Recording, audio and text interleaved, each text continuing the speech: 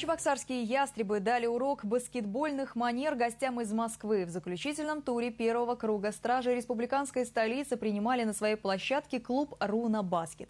Итоги тура подведет наш спортивный корреспондент Вячеслав Ильин. Клуб «Руна Баскет», несмотря на столичный статус, дебютант второго дивизиона Суперлиги чемпионата России. Хотя новичкам амбиций не занимать. У руля команды сербский специалист баскетбола Йован Попович – так что тандему наставников муниципалов Сергея Худаева и Юрию Жаконенко, даже несмотря на аутсайдерство гостей, уповать на легкую прогулку за победными очками не приходилось. Новичок попытался показать характер в стартовом матче тура.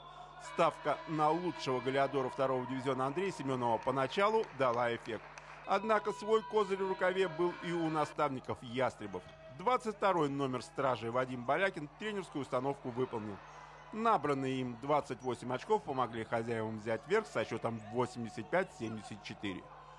Дуэль нападающих не прошла бесследно для гостя. Второй матч он вынужден был проводить на скамейке запасных.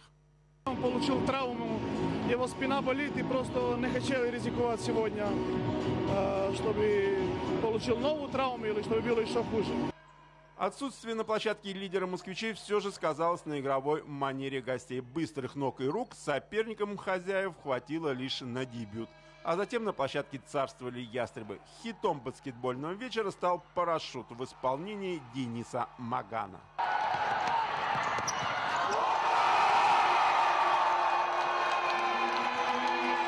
Как и в случае с динамовцами, магнитогорские москвичи пожимать руки соперникам отправились за 7 секунд до финальной сирены.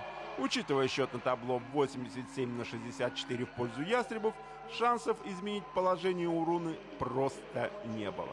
Четыре победных очка, добытых чебоксарскими ястребами на домашнем паркете в борьбе с московским клубом «Руна Баскет», позволили стражам столицы Чуваши завершить первый круг чемпионата России по баскетболу на третьей строчке турнирной таблицы второго дивизиона. Второй круг мы начинаем с выезда принципиальным соперником «Динамовцем» Ставрополья. Игра будет очень сложной, обе игры, но нам обязательно надо выиграть одну игру. Задача стоит перед командой выиграть. Мы должны были выиграть из шести игр пять. Нам осталось минимум выиграть одну игру. Вячеслав Ильин, Вести Чуваши.